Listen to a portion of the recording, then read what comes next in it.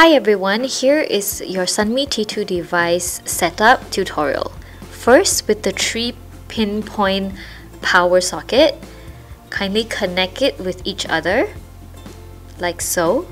Make sure that it is secure. And on the back of your Sunmi T2 device is where all the inputs are.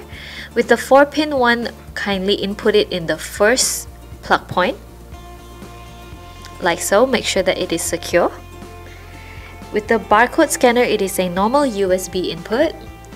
You may connect it to the back as well like so.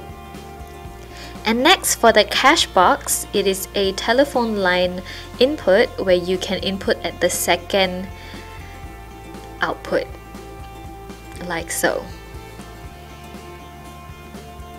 And here is your receipt paper roll. Press the button over here. Open the receipt printer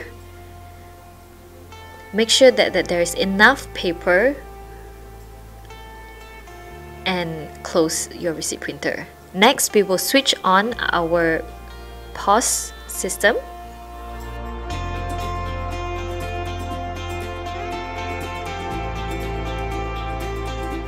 And here we can choose our preferred language and time zone and connect to the internet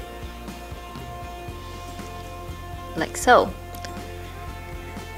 after that we would like to activate the device start the configuration.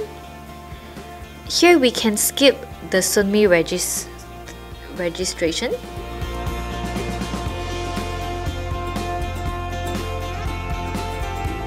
And after that we can enter the system.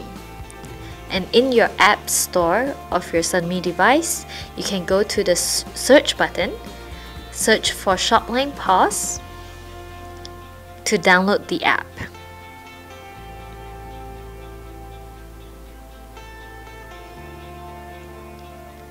Select Shopline POS 2.0 once it has been downloaded you may open the app and there you go.